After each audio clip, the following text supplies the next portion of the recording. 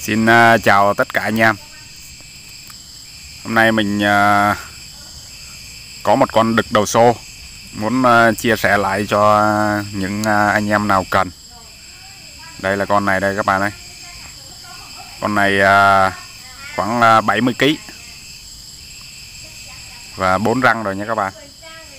Mới thay đôi thứ hai. Chắc bữa nay nó cũng bằng. này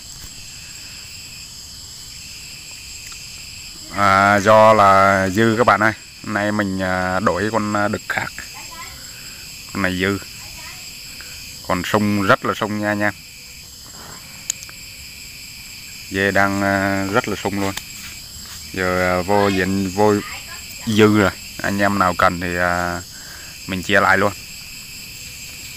Ngoài ra thì có một hai con hào bị khoảng tầm 25 kg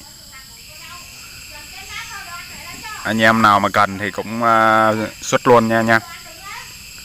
Đàn này thì à, cũng là mình coi coi, hình như là cũng con của con đó đấy.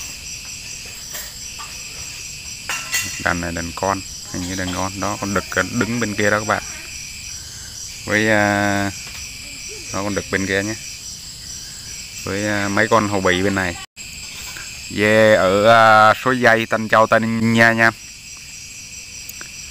chắc ờ, anh em ờ, vòng vòng đây cần thì bắt được thôi chứ mùa dịch này ờ, chắc cũng không gửi được đi xa đâu các bạn ơi. Xe này nghỉ hết rồi. Dê thì chế độ ăn là cỏ với lá lá mì nha anh em. Không có đồ cám đâu, anh em về nuôi tẹt ga luôn. Cỏ, lá mì với lá cây, linh tinh thôi. Thức ăn đơn giản nha anh em lấy về dễ nuôi nhé.